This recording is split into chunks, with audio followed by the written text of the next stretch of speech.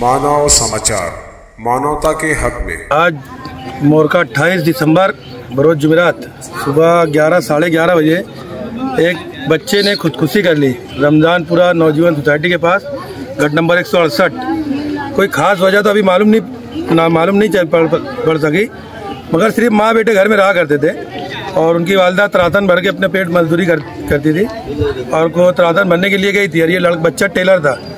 Taylor कर रहा था, अपना कपड़ा सी रहा था। और पता नहीं उसके दिमाग में क्या आया है क्या बात हुई, वो तो पुलिस तफ्तीश कर रही है। उसके बाद सामने बात आ जाएगी। मगर हम लोगों को लोगों को देख बोलना ये है कि कोई भी हाल में खुदकुशी ना करें। कोई भी मसले हो, कोई मसाइल हो तो कोई जिम्मेदार थे, जैसे हम जैसे लोग हैं या और कोई छोटा, कोई बड़ा, कोई जिसको आप लोग अच्छा समझते होंगे, आप लोग उनसे रबता कायम करें। हर चीज़ के मसले का हल है। ना कि खुदकुशी करके अपने आप को जोखिम में डालना अपनी माँ को पहले ही अपने वाले, उनके वालिद साहब का इंतकाल हो चुका है। माँ बेवा पहले ही थी, अब अब उनका कोई भी आगे पीछे कुछ नहीं है। तो घर परिवार बेचारे एकदम परेशानी में आ जाते हैं। तो खुदकुशी ना करें, हमारी गाँव के अच्छे लड़का हो, लड़की हो, तमाम लोगों से रिक्वेस्ट यही है।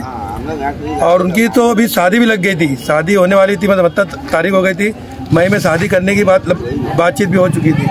आज उनके भी दिल पे विचारों क्या बीतेंगी कि यार, हमारे वहाँ एक लड़की की बात लग गई थी, शादी होने वाली थी, और लड़के ने खुदकुशी कर ली। तो समाज के अंदर इसका बहुत बुरा असर जाएगा। हमारी लोगों से रिक्वेस्ट है, हाथ जोड़ के इल्तजा यही है कि खुदकुशी ना करते हुए कोई मसले मसाइल है तो लोगों के पास रखें, बताएँ, उसका हल है। हर हर हाल में हल है।